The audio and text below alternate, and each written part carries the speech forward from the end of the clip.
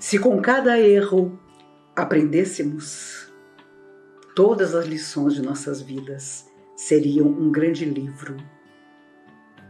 Por isso, Emmanuel, através de Chico Xavier, dizia: Cada dia da vida é uma página do livro que estás escrevendo.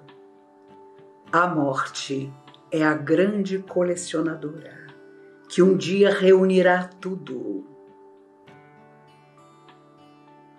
É uma grande verdade. Porque nem todo mundo aprende com os erros. Há quem permaneça errando e ainda se vanglorie disso.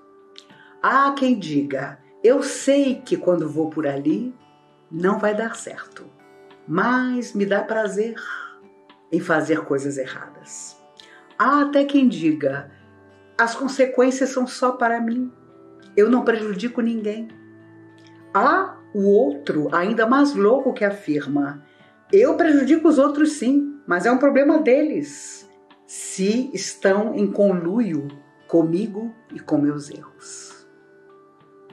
O erro existe porque nós muitas vezes vamos a ele conscientes, certos de que é um erro e certos de que ainda aí nós não vamos aprender.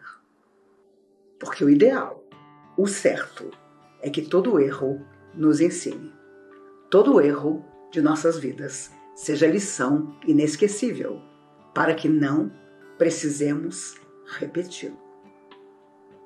A morte é sem dúvida a grande colecionadora, que vai reunir no grande livro tudo aquilo que tivermos acontecido.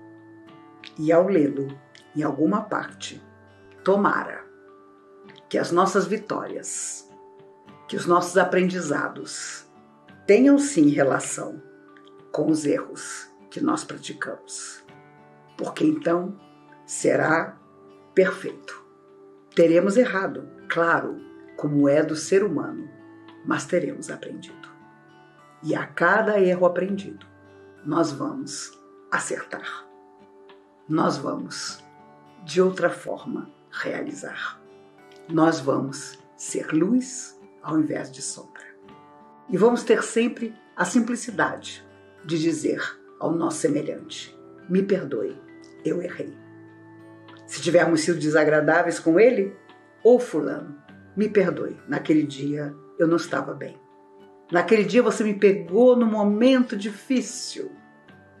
E ainda que não seja verdade, ainda que o outro é que tenha sido grosseiro conosco, experimentemos pedir desculpas. É um efeito incrível. Pedir desculpas àquele que nos magoou.